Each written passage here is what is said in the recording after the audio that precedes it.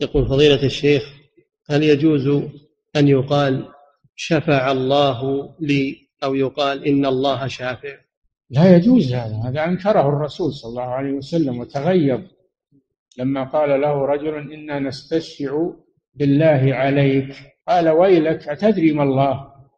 إن الله لا يستشفع به على أحد من خلقه. شأن الله أعظم.